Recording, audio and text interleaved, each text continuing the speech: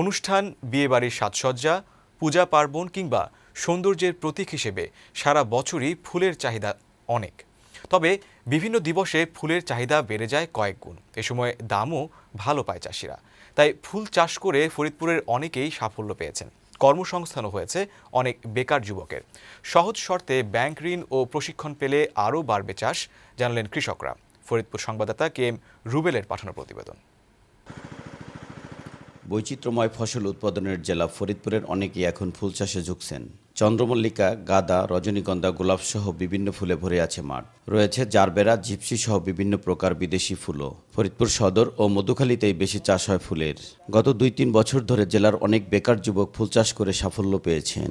ঘুষেছে তাদের বেকারত্ব।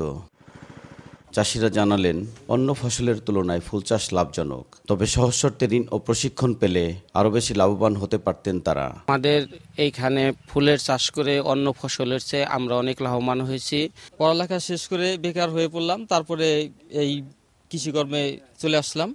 তাই এখানে এসে সেই ফুল চাষ করে আমি মোটামুটি সাফল্য হয়েছি। ফুলের সৌন্দর্য উপভোগ এবং বাগান দেখতে বিভিন্ন এলাকা থেকে ছুটে আসছেন দর্শনার্থীরা।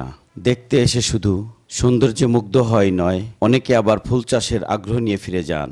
আমরা আগে ফুল সাধারণত যশোর থেকে এনে আমাদের এই ফুলের চাহিদাটা পূরণ করতে হতো কিন্তু এখন ফরিদপুরে বিভিন্ন রকমের ফুল হচ্ছে। আমি এখানের খোঁজ পেয়ে শহর থেকে চলে আসছি আহ, ফুল দেখতে। এসে খুব ভালো লাগছে অনেক পদের ফুল আছে। এদিকে কৃষি বিভাগ জানিয়েছে ফুল চাষে প্রশিক্ষণ ও ঋণ দেওয়ার উদ্যোগ গ্রহণ করা হয়েছে।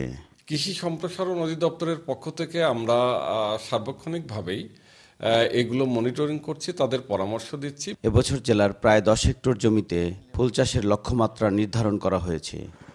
কে এম রুবেল, বৈশাখী সংবাদ, ফরিদপুর।